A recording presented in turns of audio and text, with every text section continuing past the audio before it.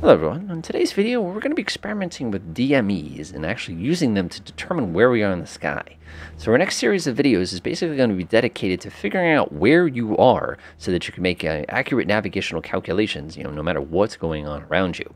So the first method that we're going to use today is actually going to be using two circles, kind of like a GPS does, in order to actually figure out where we are in the world. So um, let's go ahead and experiment a little bit with this particular concept. So the method we're going to use today is basically using the distance we are from a DME station comparing that against the distance from another station, drawing two large circles, and then finding where those two sets of circles actually intersect. I'm going to go ahead and pause myself in the air real quick, and I'm going to go ahead and uh, take a look at what we have in our nearby area. Now, uh, first things first, uh, what I am going to do is I'm going to disable the view of the aircraft, so uh, as we're doing some of this stuff, we can't really cheat. So let me go ahead and change my view for you folks real fast. All right, here we go. So uh, right now you can see that we're somewhere, of course, in um, my home state, which is uh, Connecticut. We have a couple VOR stations, and we need to figure out where on earth or where in Connecticut we are. So what I'm going to do is use multiple VORs in order to go ahead and not use them for their radial, but use them for their distance. So I notice Putnam VOR here is, uh, it's actually going to be a VOR DME, has a frequency of 117.40. So I'm going to go ahead and flip over here. I'm actually going to make my life a little bit simpler. Ah, it doesn't work that way. So I'm going to go ahead and flip my modes here and go ahead and say 117. 0.40. And I'm going to go ahead and flip this over. So the first thing that I'm going to get is I'm going to notice that my distance to that DME or that VOR is a total of eight nautical miles. Now, what am I going to do with this information? Well, let's head back over here. So I'm actually going to go up into my settings here. I'm going to go ahead to map. I'm going to delete all this. I'm going to get myself a single range ring at eight nautical miles from Putnam VOR. So I know I'm somewhere inside of this arc here. So unfortunately, I don't know where I am in this arc. Of course, using a little bit of deduction, I could probably look down at the bottom of the plane and identify exactly where I am. But instead, uh, what I want to try to do is use another VOR and see if I can basically triangulate my position.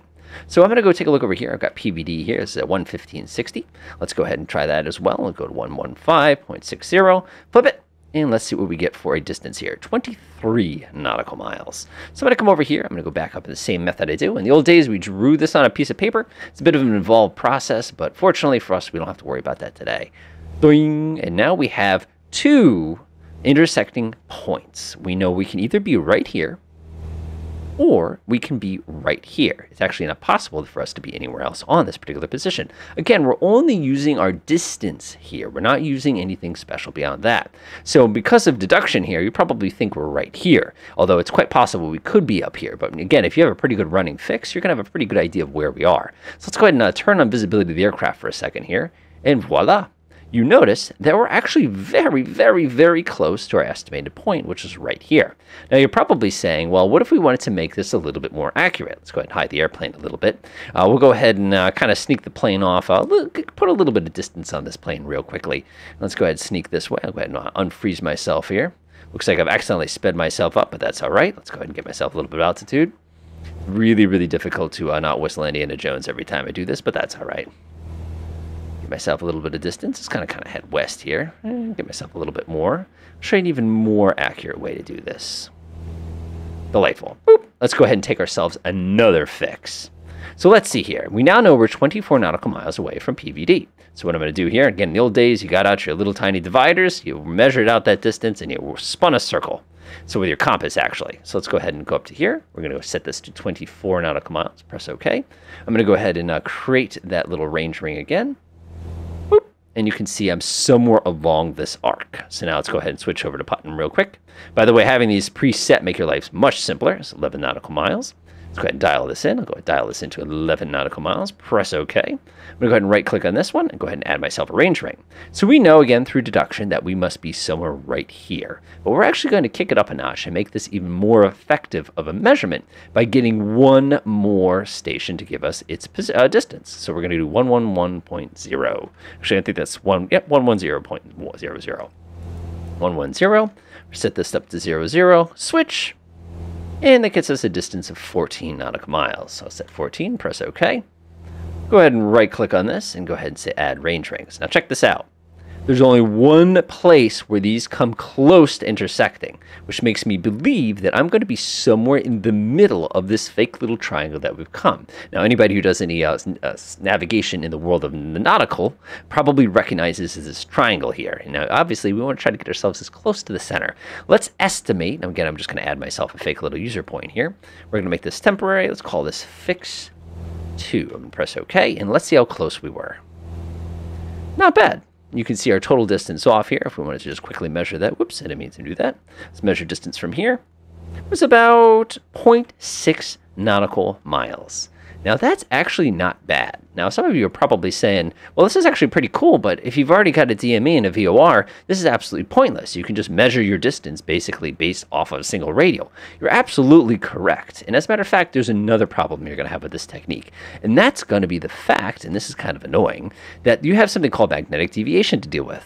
Now, in this particular part of the world, magnetic deviation is more or less vertical. But when you move horizontally with your stations, you will cause yourself to slowly read a progressively less accurate measurement. Remember, VOR stations are based on magnetic courses as opposed to true courses, meaning, unfortunately, if we were all the way over here and we took a fix off a of PVD, we'd have all sorts of new problems. There is another issue which makes this very challenging, and that's the fact that when you're using this particular technique, you're at the mercy of the fact distance is measured to you regardless of your altitude. So if we're at 10,000 feet, your distance is going to measure slightly different than if you're at 1,000 feet, which is going to be a common issue that you'll see when you're trying to take fixes using radio instruments. So again, you can see this is not bad of a fix. And as we move along, we could go ahead and set ourselves up and take multiple fixes and be able to carefully calculate where we are at all time. Now, what makes this even more powerful is that as we're doing these kinds of fixes, we can use this as one of the techniques that we use for our actual flight. Now, some of you are probably going, you know, can you take advantage of this? And actually, yes, you can. Let's say that the Putnam VOR was out of service for some particular reason, and we wanted to fly all the way to Putnam, this particular VR, for whatever reason. Maybe there's an airport or something there. We could actually, and this is a very interesting way to do this, measure a DME distance of, let's say, we got 23 nautical miles to this, and then fly this aircraft until we measure 23 nautical miles away from here, and then keep that 23 nautical miles as we fly in a generally north northeastern direction. This would mean we would fly along this arc. So not only are we going to be able to keep a reliable distance from the destination, but we'll still be able to find that point on the ground, even though we aren't necessarily knowing exactly where it is using a radial. Um, some approach plates actually use this particular technique. So again, this is kind of a slick little method that you can use using just DMEs and of course the little nav, um, nav map in order to calculate where you are. Of course, some of you might say, um, why don't you just use the simulated position here? Well, some folks like to actually draw this stuff out. Speaking of drawing these things out, some of you might recognize one of these, which is a plotting paper. What you would actually do with this is you'd use this to manually plot your position and basically have your lines of latitude here. And calculating your longitude is a little more involved. You'd have to actually use your dividers here to actually measure, depending on what part of the world you are as far as the equator goes, to accurately be able to calculate your latitude and longitude. Now, this is a little beyond the scope of what we're taking a look at, but if for those of you who'd like the added challenge, there's actually a great video on how to set up one of these particular pieces of paper, even for the purposes of aerial navigation. All right, hopefully this video is uh, helpful as far as uh, finding a fix using either uh, two or three individual VOR stations. And uh, later on, we're going to take a look at other ways to identify where we are in the air. Enjoy.